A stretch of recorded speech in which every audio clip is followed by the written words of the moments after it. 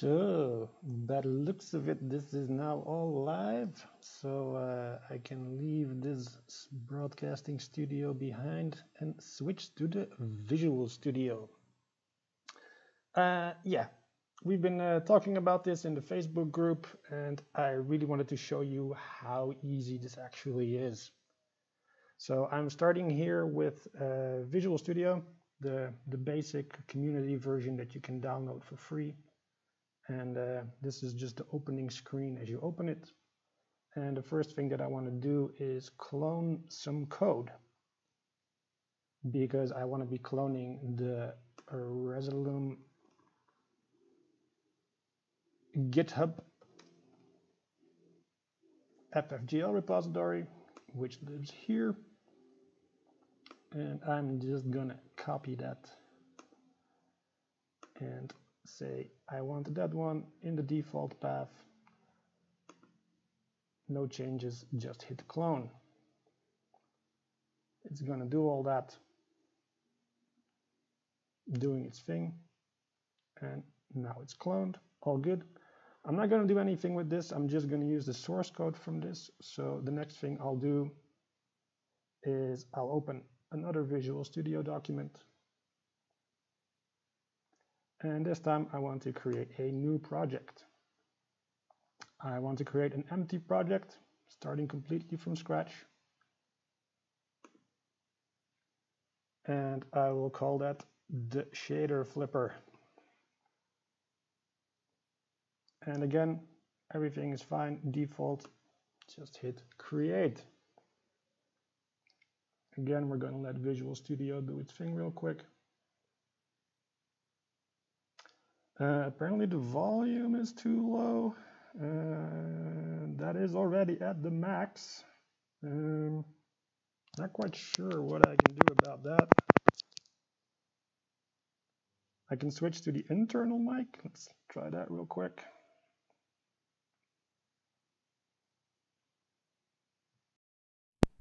So let's see if this is any better.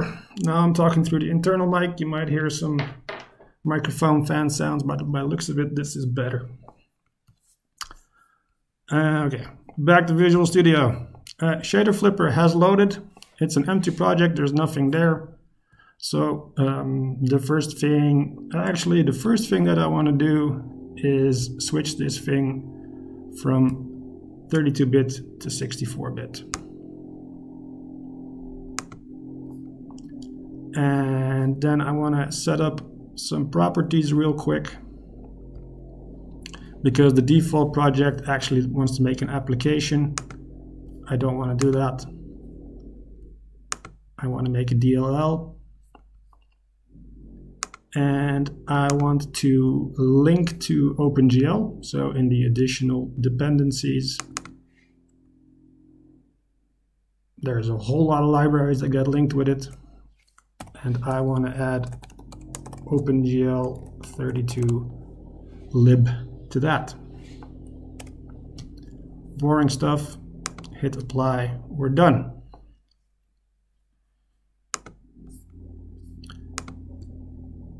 Then I want to add some documents to this. I want to create a new item. It's going to be a C++ class.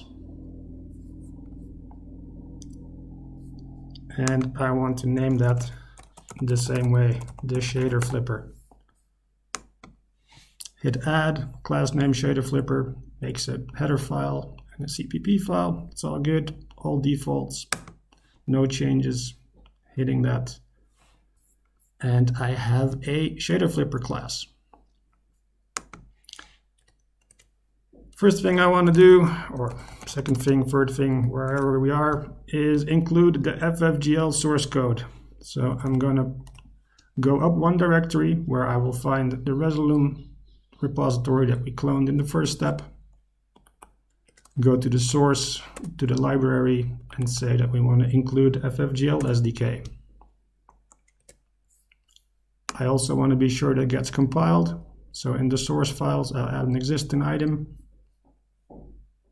do the same thing, go up one directory, go to the FFGL SDK, go to the source, go to the library, and let Visual Studio know we want to compile the SDK as well. Now, ever since uh, Ronan joined the uh, team, he made FFGL ridiculously simple. So he made a, a quick start uh, library for FFGL, which means that everything became super simple. And by saying using namespace FFGL quick start, we can access those functions. And now we can say that uh, our plugin is going to be a source, which will become a source in Resolume. Then we need to let Visual Studio know how to create a source and how to destroy a source. This is all super basic C++ um, developer 101. And this is literally all we have to do in the header file. So I'll say, let me create those bad boys. And let me create that one as well.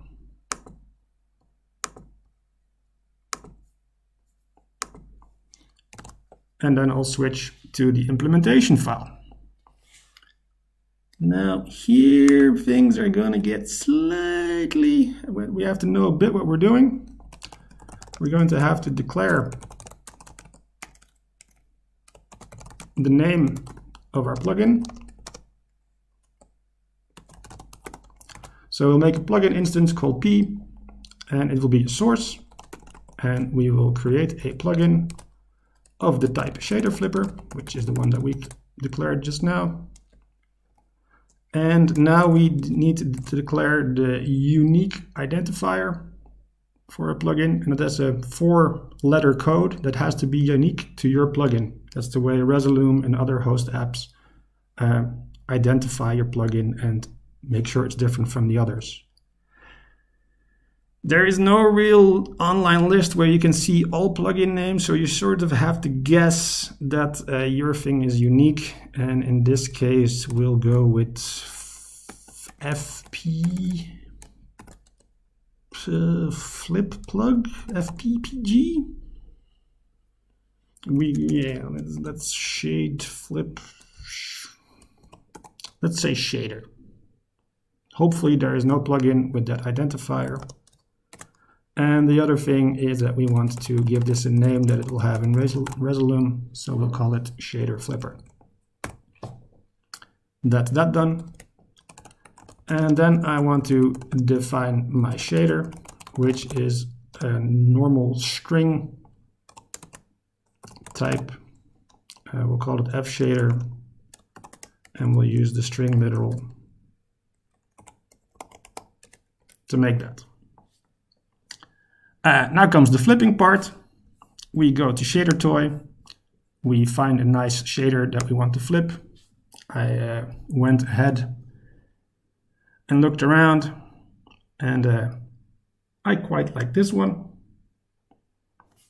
So uh, what we'll do is we'll hit select all, hit command copy. Don't go back to this window, but go back to this one and we hit paste. Oh my god, I am so creative. I am making a shader. Uh, Shadertoy uses a couple of uniforms uh, specifically, and the real trick to flipping a shader is knowing which ones, uh, which uniforms you need to change, which variables. Uh, honestly, uh, I'm a shader flipper, so I don't care about this code because it doesn't contain any of those this stuff I don't care about. I don't care about how uh, ray tracing works. I don't care how colorizing works. Ray marching is all stuff I don't care about. The only thing I care about is the main image. And these frag colors and frag coordinate variables. I want to get rid of those and just say make a main. And then I want to change wherever it says frag coordinate xy. I want to use the proper OpenGL version of that, which is lowercase gl underscore capital frag coordinate, shader basics. Then wherever it says iResolution, I want to change that to just resolution. And wherever it says time, for time, I just want to change that to time. For the rest, there are no um, variables which are unique to Shadertoy here. So at this point, all I'm left with is to say that I want to set my fragment shader to use the one I just wrote. Bada bing, bada boom, I have flipped the shader. I'm on 64-bit. I will hit compile. It starts compiling and I get error messages out the wazoo. I get 102 errors. Oh my god, what's going wrong? This is basically uh, because I started a new project, because I really wanted to show you from scratch what's going on. Um, Microsoft is being a little bit uh, waving the finger and it says that I have to conform to certain standards and I have to use, uh, I forget what this system definition, it's something security definition. I don't want to deal with all that, so I hit that one to no as well. And I hit apply. And now, moment of truth, generating code, done building project. I get another error message. Don't worry about this one. This is just saying that I can't start this application. That's fine. It's DLL, it's a plugin, it doesn't need to start. So what I'll do is I'll go to the place on my hard drive, my user folder, source, repos, default Visual Studio place, has a shader flipper project, has a 64 debug build, it has a shader flipper DLL. So what I'll do is I'll copy that. I have an extra effects folder in Resolume Arena and I will hit paste. And now I'll launch Resolume Arena.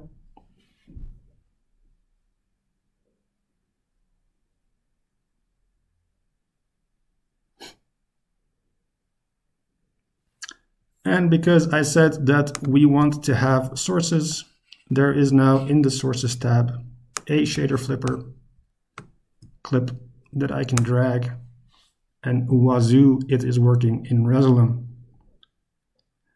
I'm doing this on an Intel uh, Intel Microsoft Surface Pro MacBook, uh, MacBook, Microsoft Surface Pro. So the frame rate 30 because this is rendering at 1920 1080. It's a bit low, but here we have a flip shader. This is literally all you need to do.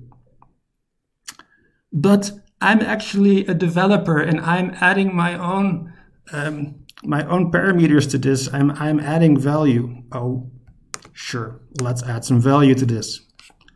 Let's say that um, I would like to rotate this beautiful example. There actually is already a rotation function in this shader. And all I need to do is expose that. So what I'll do is I'll say, I'll add a parameter, which is a regular parameter, and I'll create that and I'll call it rotation using a capital because I like capitals and its default value should be 0.75 float value. Then in the shader, I will say, because uh, shaders work in uh, radian space where everything is to do with pi, I'll say that I want to rotate 2 pi, which is a full circle, times the value of the parameter I just created. Rotation, note the capitals here. I'll hit recompile again. Again, I get this warning, but that's fine. In Resolume, I'll eject this so it's free for writing. Copy the file again. Paste the file again. Yes, replace please. Go back to Resolume. Load my shader flipper thing. And now I have a rotational parameter that I can use to play with. This is literally all that you have to do to create a 3D plugin like this. I think it's absolutely beautiful if you follow this stuff and you learn from this and create your own plugins from this. I think it is absolutely horrendous if you take this stuff, claim it as your own, and try to make money of it. I think that is wrong, and I will oppose that for as long as I'm part of this community. Some of you may be paying attention, and you can say, well, actually, this uh, shader is MIT licensed, which means that you can do whatever, whatever you want with it. This is true. The guy that made this shader amazing developer, amazing coder, doesn't give a fuck about what he wants, uh, what people do with this thing. Officially, you could make money with this as long as you include that header. I think that is bullshit. I think that is wrong, and I think that should be opposed. That's my rant. That's my creating a shader. Um, hope you enjoyed it. Hope you learned something. And uh, I'll see you on the flip side.